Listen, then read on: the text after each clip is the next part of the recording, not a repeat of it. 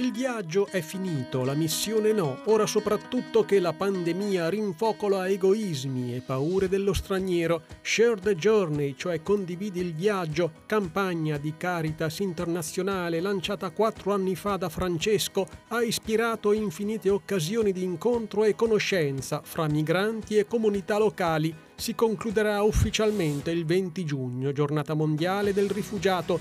Intanto tutti possono accendere una candela virtuale su caritas.org e lasciare un messaggio che sarà consegnato anche al Papa.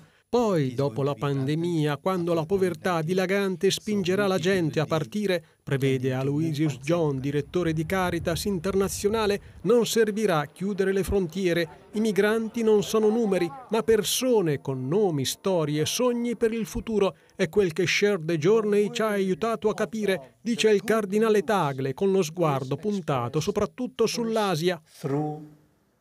acts of love. Sono i gesti d'amore più che le parole ad annunciare il Vangelo laddove il cristianesimo è minoranza, spiega. Le migrazioni poi sono anche un grande movimento missionario. Sono i filippini miei connazionali, dice ancora, che in Europa riempiono le chiese. E siccome anche lui è nipote di un migrante cinese, state attenti, conclude sorridendo, a non respingere il nonno di un futuro cardinale.